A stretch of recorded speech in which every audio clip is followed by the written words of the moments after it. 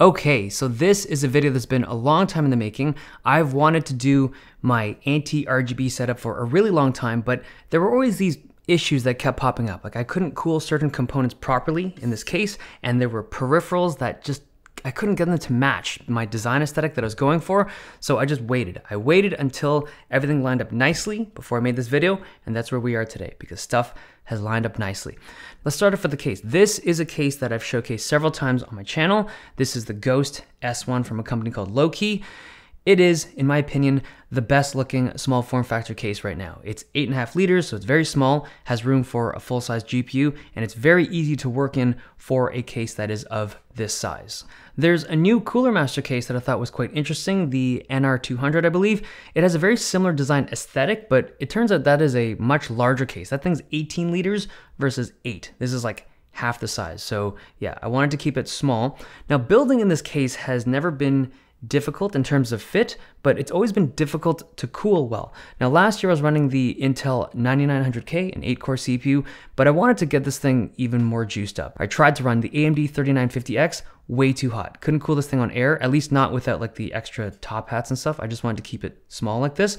I also tried the 3900X, still too hot. I ended up settling on the Intel 10900K.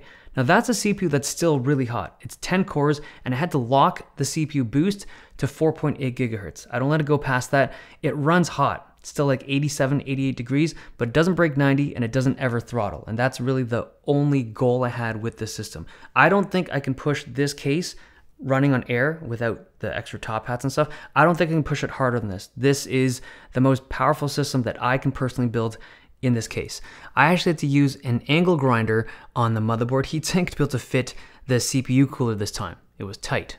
So we have 32 gigs of RAM and it's all sitting on a Gigabyte Z490i motherboard with all the RGB lights turned off. The GPU is the RTX 2080 Ti. This is on its last legs in terms of like being the king of GPUs. This is two years old at this point, but I also had to do some mods on this thing. So the GeForce RTX font at the top turns green and it's really bright. So I popped off the front plate on the cooler to access the RGB lighting and there was no way to easily disconnect it or so I thought. So I cut it and then when I tried to actually remove the cable, I pulled that connector right off that PCB. It ended up working perfectly though. There's just no way for me to easily reconnect the GeForce RTX logo back to the lighting system, but I'm good with that. Now the performance on this machine is excellent. It's 10 core CPU, RTX 2080 Ti. I mean, what do you expect, right? It's going to push out some excellent numbers, and the thermals are acceptable to me for the size of this system. Now, this setup uses one display panel, and it's a really nice one. So my old setup videos, I've always had this 38-inch widescreen from LG. It's a 38 UC99. I've used it for three, maybe four years. Fantastic screen, but it was starting to show its age. They finally have a new one that fits my needs perfectly. So this is, again, 38 inches widescreen, but better color accuracy and 144 hertz with one millisecond response time. It's super fast. It's the perfect screen to me. It's G-Sync compatible if that's your jam. It is so nice. This is really the screen that I've always wanted over these years. Like it's this, it's a screen that's good for gaming, and for doing work, right? It's everything in one panel. It's bright, it's color accurate. It is so good. I love it. I think I'm gonna replace all of the displays that I have in the studio with more of those 38 inch screens. They're so good. I highly recommend this display. And they also have good speakers. If you notice in my setup, I don't have external speakers. Now this is something that is just my personal taste. I don't need external speakers. As long as the ones that are built into the display sound good. And these ones are nice and it keeps the whole desk clean. Now, if I'm ever playing games, I don't rely on externals. I use these ones. This is the new Surface Headphone 2 from Microsoft. We've done like a mini review on them. Because of Bluetooth 5 and just, I guess, new hardware from Microsoft, there's no noticeable latency. I can comfortably play competitive shooters with the Surface Headphones 2. So let's talk about the mouse and keyboard next. I feel like this is the last part of the of the setup. Okay, this is a mouse most people have not heard of. This is something that has a bit of a backstory to it. I was sent a kind of engineering sample or prototype of this mouse sometime like January or February of this year. And when they sent it to me, they were very hopeful. They wanted me to do a video on it, and I didn't like it. At the time, I was like, the idea is cool, but there's issues with it. Like, there's some build quality issues I didn't love, and like the wiring wasn't ideal. I just told them I'm not going to make a video on it.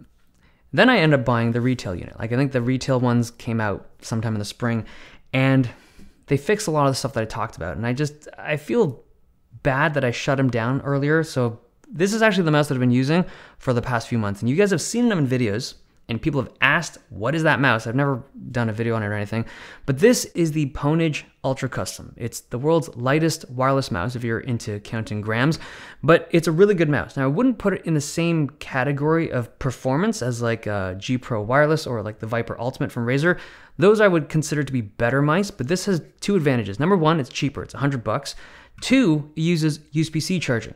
This is a feature that I do not understand why so many companies refuse to put onto their gaming mice still. Like there's $200 gaming mice out there that are brand new that still use micro USB for whatever reason. This uses USB-C and in an era where like all of my devices are USB-C, it's nice to be able to just connect it up to juice it up. So 40 hours of battery life, it's a really good mouse. Personally, I actually can't tell the difference between the sensor between this and let's say the G Pro wireless. But I would say that if you're super competitive like MLG Pro, you might notice a difference, but I think most people will really like the performance on this mouse. And you can also remove the back plate. Like if you don't like the smooth finish, you can pop it off and throw on a honeycomb material for decreased weight. But yeah, solid mouse. Now, uh, there is, I'd say, one main disadvantage to this.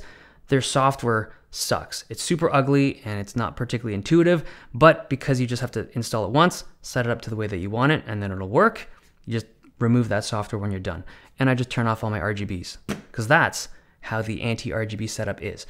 Now the mouse pad, okay, we gotta talk about this mouse pad. So this is made by Razer and it comes from their new work from home lineup.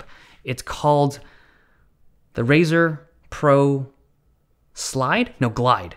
And it's a really simple mouse pad. It's 10 bucks, but you know how rare it is or how hard it is to find a gray or white mouse pad that doesn't look stupid? These guys did it. And it's got this nice gray material on the bottom, the rubber with a nice hexagon pattern if you're into hexagons. This is an awesome mouse pad. I love it, and I'm probably gonna buy a bunch of these. I highly recommend this thing. And it uses the same kind of soft surface as their regular gaming mouse pads. It's a good one. The last piece of the setup was the keyboard, and I'm very picky about keyboards. I couldn't use my regular Massdrop Control or Massdrop Alt keyboard. That's a keyboard that really depends on its RGB to look nice. If you don't have that stuff, the keys are even hard to read with those keycaps. It's not a good keyboard for this particular setup. The truth is, I never found the perfect keyboard. I have one that's being made by Nathan from Teihai Keyboards, but in the meantime, I've settled on this. This is the Razer Huntsman Mini, and there's there's so much I like about this keyboard. It's not perfect, like you can hear the problem right there. The stabilizers are not ideal, it rattles. But the typing experience on this is solid and I love the size. It connects with USB-C, so I can use that keyboard cable to connect into the mouse to juice it up whenever I need to. And I feel like this is a keyboard that doesn't need to light up to look good, right? It's got a very clean aesthetic, optical switches, and it just looks really nice in this setup. Now it's also a nice size. I like smaller keyboards, and it's I mean it's for gaming, like you just tilt it and it lets you move your mouse without it getting in the way. But that's my anti-RGB setup, and I hope it inspires some of you guys to build systems that are not rainbows, because rainbows are a little too much sometimes. Okay, hope you guys enjoyed this video. Thumbs if you liked it, subs if you loved it. I'll see you guys next time.